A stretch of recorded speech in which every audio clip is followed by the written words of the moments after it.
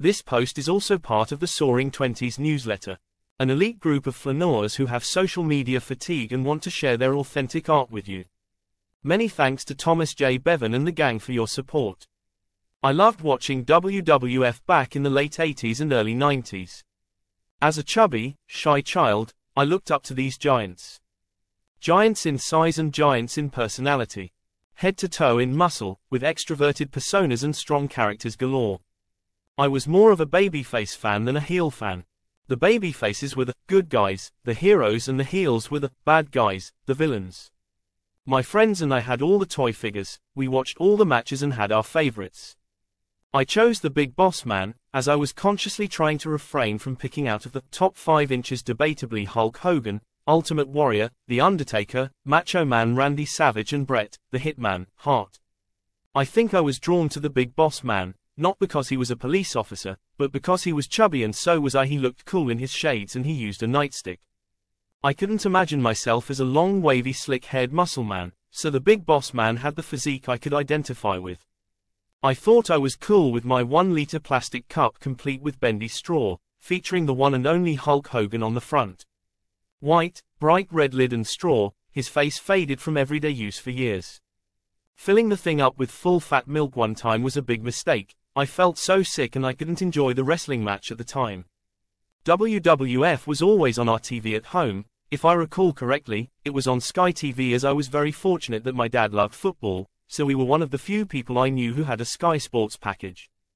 I'm not showing off or anything smiley face. I was just lucky, we were a working class family, my dad was a painter and decorator, then later a taxi driver, going on to run his own small taxi company in our small town. My mum even got into the spirit of WWF. I have a strong memory of her getting riled up during a match, she was really into it, worried about the wrestlers getting hurt. I knew that it was somewhat contrived, but she had no idea. However, we both got into the spirit of things and enjoyed the show.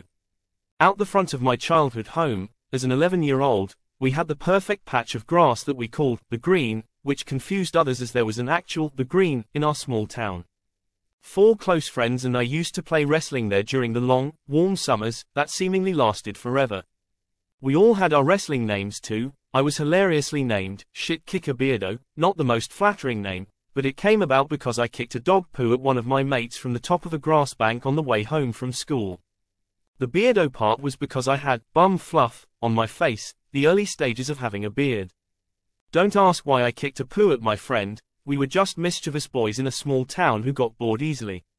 My best friend's wrestling monikers included Lyrical Miracle, Mighty White and Tutti Frutti. Being around 12 stone, I had a weight advantage compared to my friends, all I needed to do was sit on them and they'd submit. Agility wasn't my strong suit though. A few passing words from a mate in 2022 started a whole new series of art pieces. My friend said something like, I want to see you wrestling Mr. T referring to my next painting. So I created this, Fighting with Mr. T, oil paint on Canva, 121.92 cm by 96.52 cm. It could be seen as an act of aggression towards Mr. T, but I like to see it as an act of love too. I could equally be affectionately play fighting with him and he's looking all coy. Being born in 1982, of course, I was a fan of Arnold Schwarzenegger. I looked up to him as a role model and coincidentally my mum and Arnie were born in the year 1949. This was the next painting in the series. Fighting with Schwarzenegger, 2022. Acrylic painting on canvas, 70 centimeters by 100 centimeters. Calmly giving Arnie a full Nelson while he screams, AHGG AHGG in the same way he did in Total Recall. Total Recall, 1990. You've got to love that film. Everyone my age will have probably seen it. I asked some people I know in their mid-twenties if they'd seen it and they said no. They'd never heard of Arnold Schwarzenegger. I'm fond of this one. The Stare, the famous showdown between Andre the Giant and Hulk Hogan in 1987's WrestleMania 3. The figure on the left is me, replacing Andre the Giant, I will elaborate in a moment. Fighting with Hulk Hogan, 2022, acrylic painting on canvas, 70 centimeters by 100 centimeters. I am a real American, fight for the rights of every man, I am a real American, fight for what's right, fight for your life. Hogan's theme tune by Rick Derringer. I'd like to share with you, a piece of art in its own right. Now, I'm viewing this as a 41 year old man as I write this, and I know wrestling is predetermined but the athleticism and emotion are real. If you have 16 minutes after reading this post, watch this and tell me that you're not entertained. Copyright WWE Network, WrestleMania 3 footage. What these paintings have in common, and the ideas behind them, I was a painfully shy child, overweight, and extremely uncomfortable in my skin. So, when I saw these muscly, fit, charismatic giants on the TV screen, I was hooked. Whether they were WWF, now WWE, wrestlers, action movie stars or the world's strongest men, I felt strangely better about myself for a while.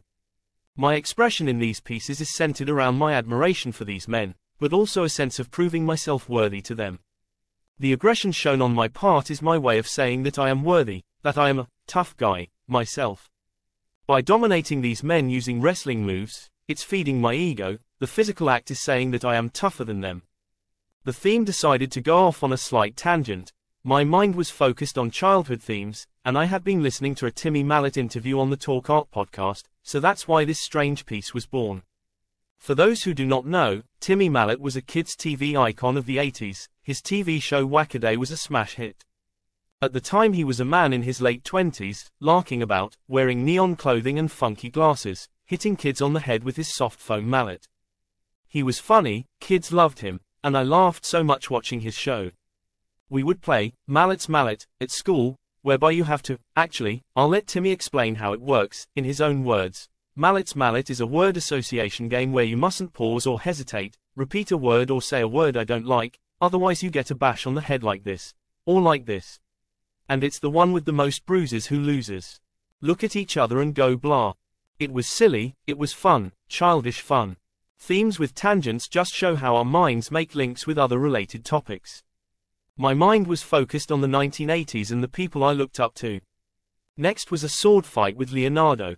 Leonardo was my favorite turtle as a kid, he was the leader of the Teenage Mutant Hero Turtles, and he wore a blue bandana, which of course, is my favorite color. As he was the leader, and I was a shy kid, perhaps somewhere in my psyche, I wanted to be more like him. At certain times in my life, I have been terrified of, but drawn to leadership. I'll write a post of its own about it soon. Then came this endearing piece, Fighting with Picasso. Fighting with Picasso, 2022, oil on canvas, 30 times 90 times 2.5 centimeters. Picasso wasn't a childhood hero of mine. I had no idea who he was growing up apart from vague mentions during a school art class. He once said, everything you can imagine is real. As I painted this piece I felt a real connection to him, as if I was actually staring at him. Going with the theme of domination and machoism, I felt like this piece was more of a loving, respectful gaze at the master, and the same as me staring at Picasso, lol. All my best to you.